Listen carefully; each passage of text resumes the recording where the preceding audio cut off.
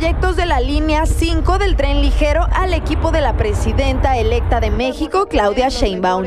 Hemos presentado, como ya se los había anticipado, al equipo de la doctora Sheinbaum el proyecto ya ejecutivo de la línea 5 del tren ligero. El gobernador electo de Jalisco, Pablo Lemus Navarro, comentó que esto se realizó con la finalidad de que el proyecto sea contemplado para el presupuesto de egresos de la federación.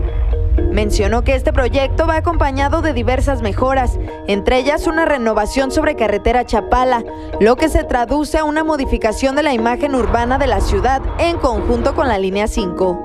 La primera etapa que empezaríamos a construir a principios del año que entra abarcaría desde el Aeropuerto Internacional de Guadalajara, que por cierto estamos ya en pláticas muy profundas con el Grupo Aeroportuario del Pacífico porque la, la línea nace al interior del aeropuerto y que cuando menos la primera etapa quedara terminada para el Mundial de Fútbol.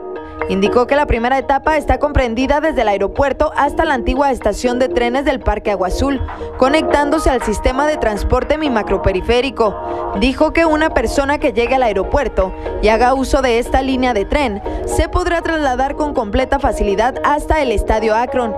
También dijo que una de las rutas que contempla la línea 5 es el centro histórico de Guadalajara y en sentido contrario a la antigua estación de trenes señalando que esta primera etapa tendrá que estar lista en 2026 y la segunda etapa en 2027 la cual incluye un aumento de cuatro carriles sobre carretera Chapala entre periférico hasta el aeropuerto, concreto hidráulico en la vialidad, la línea 5 del tren ligero corriendo pegada al camellón de carretera Chapala para respetar el arbolado que existe en toda la zona, instalación de banquetas, ciclovía e iluminación peatonal.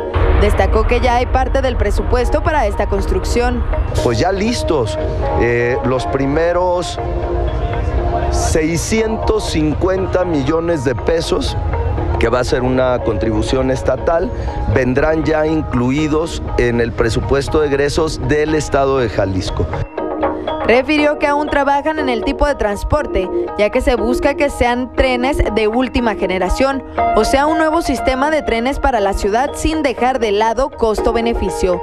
Destacó que los trenes que se contemplan son tres veces mayores a los que tiene un sistema BTR. Con imágenes de Jorge Barajas, Telediario Andrea Manso.